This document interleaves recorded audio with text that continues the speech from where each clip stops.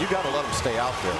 I mean, I, I, don't unless Edwin tells you he is completely gassed and cannot even walk out on the mound. I mean, there, there shouldn't even be a decision on this. Pitches high, runner goes, throw down. Got him! He got him at second base. Edwin Jackson gets a little bit of help from his battery mate. Edwin Jackson to the mound here in St. Petersburg, Florida, looking for baseball and Diamondbacks history. The 0-2 pitch from Jackson. Got him looking. Two outs away. One out away from a no-hitter here in Tampa. The 0-2 pitch. Fastball, ground ball, middle of the diamond. Stephen Drew Fields fires. He did it! Edwin Jackson yes. just threw the second no-hitter in Diamondbacks history. He is mobbed even be able to go ahead and just have a chance to finish a no-hitter was, uh, was big for me. Uh, right now, just absorbing it in.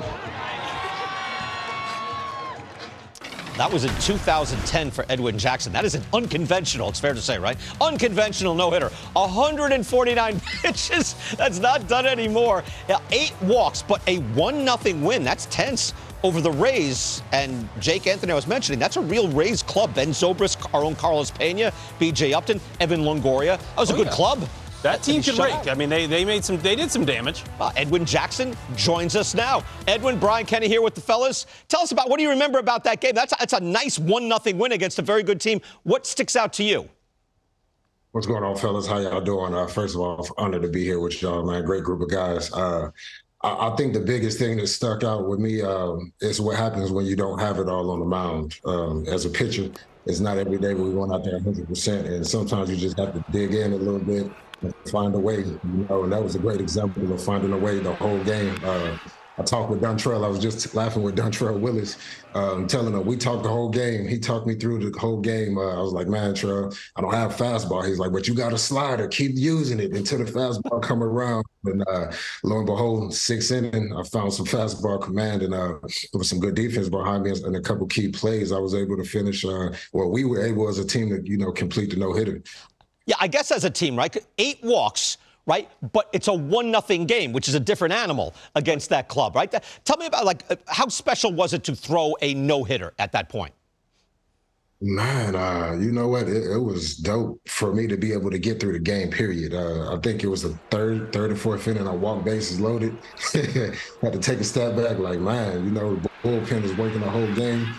Um, you know, those dudes down there tired, and if you're in the bullpen, you know that's that's a lot of warming up. That's a lot of sitting down, getting up, sitting down, getting up. So I feel like about five different people warmed up throughout the game. So I was like, I better finish it. You know, I better finish it.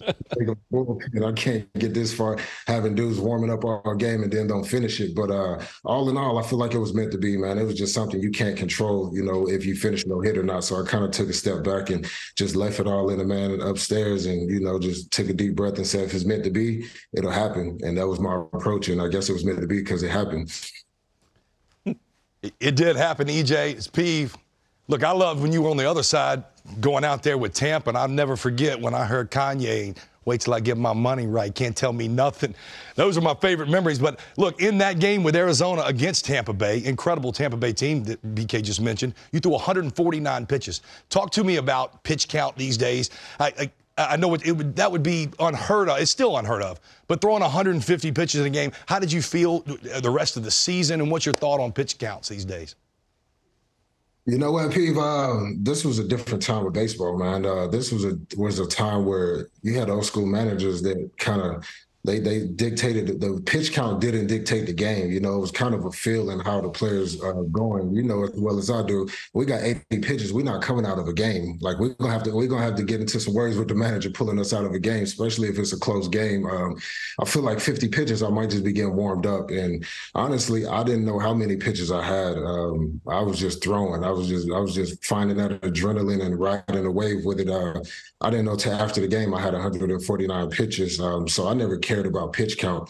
Um, pitch count never bothered me as well. I didn't get tired. I trained hard and I worked for it. Uh, you know, it was a marathon and I, I prepared for marathons in my off season training. But the way it is today, that would have been two games. You know, that's two starts almost in one game. Uh, if I've been in today's baseball, no chance that I'm, I'm making that. I'm making that. Uh, I'm finishing that no hitter. Edwin, uh, look, getting to play against you a little bit like I did, uh, absolutely distinguished career. Loved watching you go out there and do your work every time you went out there. uh, I mean, obviously, this moment I'm sure stands out to you within the course of your career. Uh, tell me a little bit more because uh, you know about the biggest moments of your career and and and what stands out to you because I'm sure you've had a couple of years now to reflect on it and really look back on what was, like I said, an, an awesome, awesome career. Uh, that's an interesting point there, Brian. Uh, as I as I sit back and reflect, there are my career changes as, as times of importance. Uh, you know, starts out with uh, my, my debut, making on my 20th birthday, having my family around. Then I uh, make an All Star game. You know, then I throw a no hitter, and then I was able to win a World Series.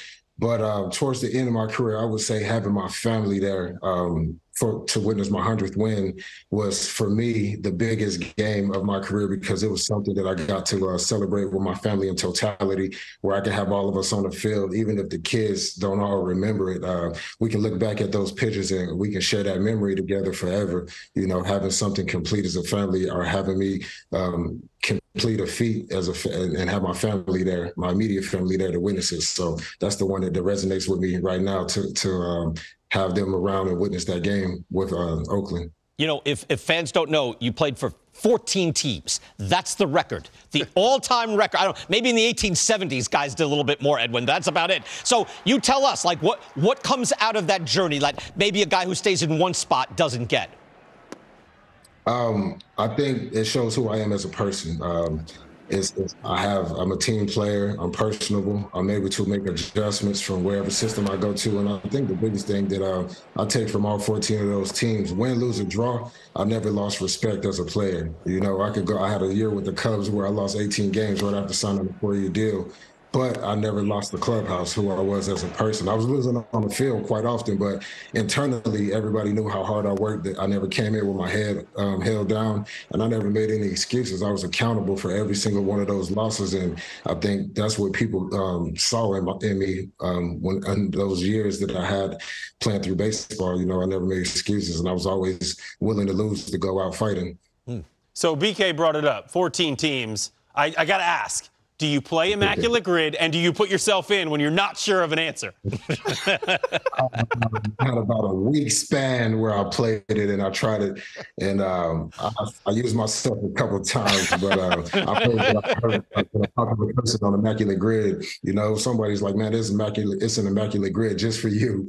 But uh, you know, I've had a chance to live in a lot of different cities. Uh, it's been a great experience. I've been blessed to put on every jersey that I was able to wear, and uh, you know, it was an opportunity that I'll never forget, it. I'm, I'm forever grateful for the game of baseball. You know, um, exp- allowing me to experience the experiences that I had. Edwin, great stuff, man. Great catching up with you, and uh, congratulations on that. Even I'd forgot one nothing over Tampa. That's awesome, Edwin. Thank you so much. Great having you on. All right, fellas, take it easy. See you, right-hander.